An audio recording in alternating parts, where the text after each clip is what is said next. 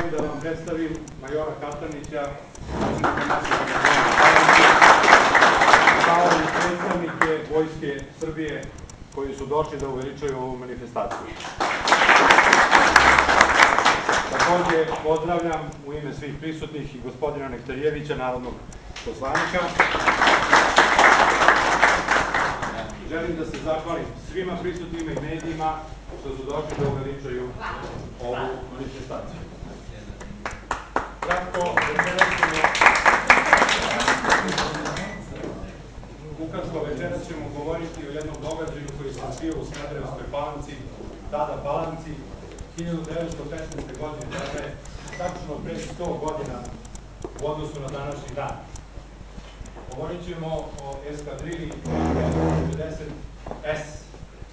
Ukratko, skraćenica eskadrile MF-90S znači Maurice Farman, što znači tip aviona broj 11 koji je leteo Smederevskoj palanci, inače jedan od tipova aviona koje je francusko u tog perioda imalo kao svoj elitni avion više namenske upotrebe. To je avion koji je upotrebljavan za bombardovanje, izviđanja iz vazduha, kao i za borbe u vazduhu. Nešto kasnije preciznije o tim detaljima govorit ću u toku same prezentacije. 99 je broj inicijalnog broja ljudi i pripadnika eskadrile koji su trebali da krenu za Srbiju. Uh, usled prijavljivanja dobrovoljaca, taj broj je porastao na ukupno 160 ljudi koji su došli u Srbiju i ovde kod nas u Palanu. S je oznaka ili skraćenica za Srbiju.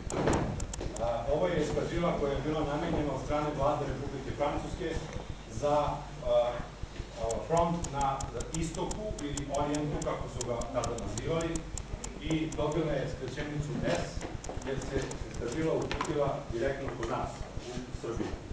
Ja bih mogu staviti slajd. maksimalnu brzinu od 112 km na sat, maksimalnu brzinu, a nosili su bombe pored sebe i ručno ih bacali, što ćete nešto kasnije vidjeti. Ono što je specifično za eskadrilu MF-99S Srbije jeste ova izuzetno redka i jedinstvena oznaka koju su nosili pripadnici naše eskadrile. Ova oznaka je letela iz Palanke, to je oznaka yin-yang simbola, ali crveno-bele boje. Zašto crveno-bele?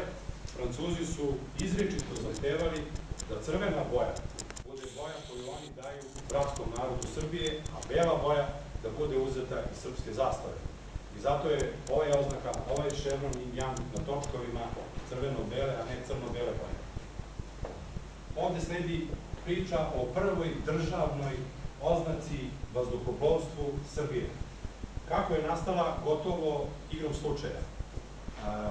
Generalštab srpske vojske je uvideo da Bugarska se sprema da zada jedan udarac u leđa srpskim snagama i da će Bugarska izvršiti invaziju na Srbiju. Da bi to sprečili, Stepa i ostale vojvode i generali su doneli odluku da zamole francusku vladu da naredi francuskoj eskadrili da izvrši izviđanja područja graničnog između Srbije i Bugarske, zahvatajući i deo Makedonije i stare Srbije.